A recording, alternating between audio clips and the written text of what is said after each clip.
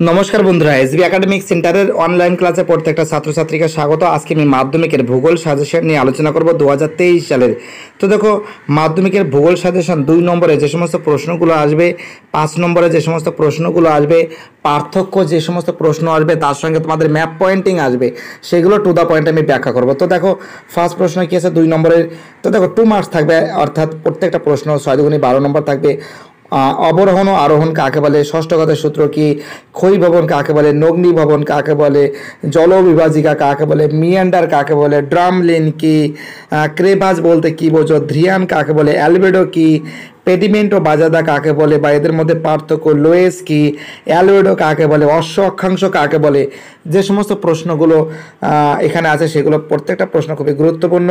ড্রামলিনটা কি? বারখান কি? অ্যালবেডো কাকে বলে? অশ্ব অক্ষাংশ, শৈবাল সাগর স্ক্রাবার কি? ই বজ্র বা বৈদ্যুতিন বজ্র কাকে বলে? দুন উপত্যকা কাকে বলে? যে বা গর্জন চল্লিশা ফেরেলের সূত্র তোমরা ভালো করে পড়ে যাবে। যে সমস্ত প্রশ্নগুলো আমি বলছি, সেগুলো কিন্তু দু হাজার তেইশ সালের ক্ষেত্রে মোস্ট মোস্ট ইম্পর্ট্যান্ট এবং মোস্ট মোস্ট ভাইটাল তো দেখো দু হাজার তেইশ সালে আমাদের মাধ্যমিকে ভূগোল পরীক্ষায় যে সমস্ত প্রশ্নগুলো আসতে পারে, সেইগুলো আমি উল্লেখ করেছি।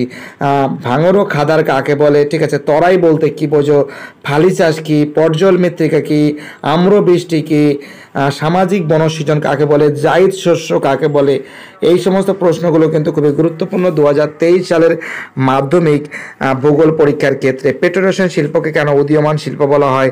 জনঘনত্ব কাকে বলে, জনবিস্ফোরণ কাকে বলে, ইমেল বলতে কি বোঝো, সোনালী চতুর্ভুজ ও হীরক চতুর্ভুজ কাকে বলে, তোমরা এই সমস্ত প্রশ্নগুলো কিন্তু ভালো করে প্রিপারেশন করে যাবে।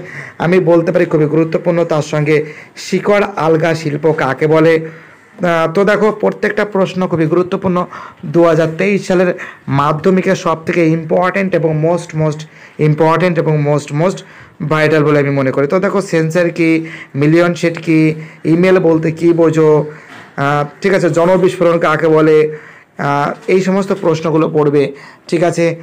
এইগুলো কিন্তু খুবই গুরুত্বপূর্ণ দু হাজার তেইশ সালের মাধ্যমিক ভূগোল পরীক্ষায়। তো দেখো তিন নম্বরের প্রশ্ন যেখানে আমরা দেখতে পাচ্ছি, ব্যাখ্যামূলক প্রশ্ন, চারটে লিখতে হবে, তিন চারে বারো নম্বর থাকবে। অবরোহণ ও আরোহণের মধ্যে পার্থক্য লেখো, গ্রিক হাত ও ক্যানিয়নের মধ্যে পার্থক্য লেখো, ঠিক আছে? সমস্ত নদীর মোহনায় বদ্বীপ সৃষ্টি হয় না কেন? বারখান ও শিব ব্যালিডের মধ্যে পার্থক্য লেখো। ওজন স্পেয়ারের গুরুত্ব বৈপরীত উত্তপ মানে বৈপরীত্য উত্তাপ কাকে বলে? ঠিক আছে ট্রোপোস্পিয়ার ও স্ট্রাটোস্পিয়ারের মধ্যে পার্থক্য কি লক্ষ্য করা যায়? তো দেখো, এই সমস্ত প্রশ্নগুলো কিন্তু ভালো করে পড়বে। এল নিটো কি, লা নিনা কি, স্থলবায়ু ও সমুদ্রবায়ু কাকে বলে, এদের মধ্যে পার্থক্য বজ্র ব্যবস্থাপনা থ্রি আর এর ভূমিকা লেখো। তো দেখো যে সমস্ত প্রশ্নগুলো গোল করা আছে, সেগুলো মোস্ট মোস্ট ইম্পর্টেন্ট ভাগীরথী ও হুগলি নদীর বজ্রের প্রভাব বর্ণনা করো। বহুমুখী নদী পরিকল্পনা বলতে কী বোঝো? ভারতের কৃষিতে জলসেচের প্রয়োজনীয়তা উল্লেখ করো। ঠিক আছে, ভারতের মৌসুমী জলবায়ুর বৈশিষ্ট্য উল্লেখ করো। ঠিক আছে অরণ্য সংরক্ষণের প্রয়োজনীয়তা লেখো। দুর্গাপুরকে ভারতের রুড কেন বলা হয়? তো দেখো, আহমেদাবাদকে ভারতের ম্যানচেস্টার কেন বলা হয়? তো এই সমস্ত প্রশ্নগুলো কিন্তু খুবই গুরুত্বপূর্ণ মোস্ট মোস্ট ইম্পর্ট্যান্ট এবং মোস্ট মোস্ট ভাইটাল দু হাজার তেইশ সালের মাধ্যমিকে ভূগোল পরীক্ষার ক্ষেত্রে খুবই গুরুত্বপূর্ণ। ভারতের জনসংখ্যা বৃদ্ধির কারণ কি? পেট্রোকেমিক্যাল শিল্প পেট্রোকেমিক্যাল শিল্প ভারতের বন্দর ভিত্তিক কেন হয়? বা রেলপথকে ভারতের জীবনরেখা কেন বলা হয়? জিও স্টেশনের উপগ্রহ সান সিনক্রোনাস উপগ্রহের বৈশিষ্ট্য লেখো। ঠিক আছে? ভারতের জনসংখ্যার বৃদ্ধির কারণ প্রত্যেকটা প্রশ্ন ভালো করে পড়ে যাবে।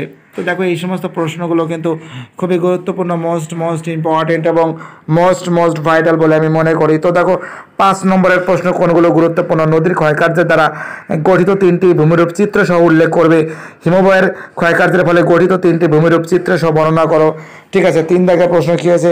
হিমবাহ ও জলধারার মিলিত ক্ষয়কার্যের ফলে তিনটি ভূমিরূপ চিত্র সহ লেখো। উষ্ণতার তারতম্যের কারণ লেখো। খুবই ইম্পর্টেন্ট প্রশ্ন, খুবই ইম্পর্টেন্ট প্রশ্ন। এবং বায়ুমণ্ডলের স্তর বিন্যাস করো। বিভিন্ন স্তরের সংক্ষিপ্ত বিবরণ দাও। বায়ুর চাপ বলার সাথে নিয়ম নিয়ত বায়ুর সম্পর্ক আলোচনা করো। চিত্র সহ সাত নম্বরের প্রশ্ন খুবই গুরুত্বপূর্ণ। সাত নম্বরের প্রশ্ন তোমরা পড়বে বায়ুমণ্ডলের তাপের তারতম্যের প্রধান তিনটি কারণ ব্যাখ্যা করো। ঠিক আছে? সমুদ্র স্রোত সৃষ্টির কারণ কি? সব থেকে ভাইটাল প্রশ্ন সমুদ্র স্রোত সৃষ্টির কারণ কি? তো দেখো, উত্তর ভারতের নদ নদী এবং দক্ষিণ ভারতের নদ নদীর মধ্যে পার্থক্য লেখো। ভারতের গম চাষ, চা চাষ, কপি চাষ, কার্পাস চাষের অনুকূল ভৌগোলিক পরিবেশ আলোচনা করো। তো দেখো হান্ড্রেড পার্সেন্ট যে সমস্ত প্রশ্নগুলো বলছে, সেগুলো হান্ড্রেড পার্সেন্ট আসবে। পশ্চিম ভারতের কার্পাস বয়ন শিল্প কেন্দ্রীয় ভবনের কারণ কি? ভারতের বিভিন্ন অঞ্চলে জনবন্টনের তারতম্যের কারণ কি? ভারতের ভারতের নগর গড়ে ওঠার কারণ ও নগরায়নের সমস্যাগুলি লেখো। যে সমস্ত প্রশ্নগুলো বলছে, এই সমস্ত প্রশ্নগুলো তোমরা ভালো করে প্রিপারেশন নিয়ে আমি বলতে পারি হান্ড্রেড পার্সেন্ট তোমরা দু হাজার তেইশ সালে এখান থেকে কমন পাবে। এর বাইরে থেকে কোনো প্রশ্ন আসতে পারে না। এটা দু হাজার তেইশ সালের আমাদের একদম লাস্ট মিনিট সাজেশান ভূগোলের। তো দেখো, এই সমস্ত প্রশ্নগুলো তোমরা অবশ্যই পড়ে যাবে। কোনো প্রশ্ন ছাড় দেবে না, কোনো প্রশ্ন বাদ দেবে না। তো দেখো, আমি যে সমস্ত প্রশ্নগুলো বলছি, সেইগুলো পারলে তোমরা স্ক্রিনশট মেরে নিতে পারো। তো দেখো ম্যাপ পয়েন্টিং শিবালিক, আরাবল্লী, সাতপুরা, নীলগিরি গর্ডনেস্টিন তোমাকে কিন্তু ম্যাপ পয়েন্টিং করতে হবে, ঠিক আছে?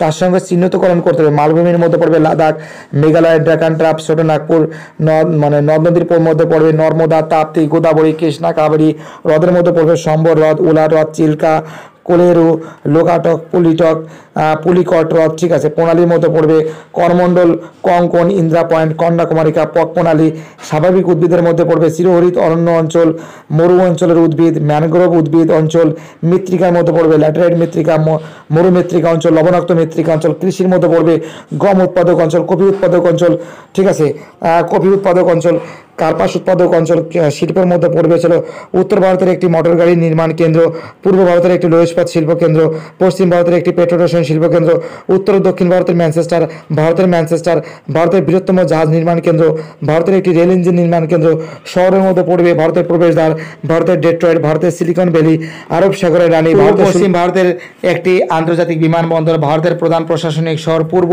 রেলপথের সদর দপ্তর পশ্চিমবঙ্গের একটি পেট্রোরেশন শিল্প কেন্দ্র তো দেখো যে সমস্ত প্রশ্নগুলো বলছে, এগুলো হান্ড্রেড পার্সেন্ট এখান থেকে তোমরা কমন পেয়ে যাবে।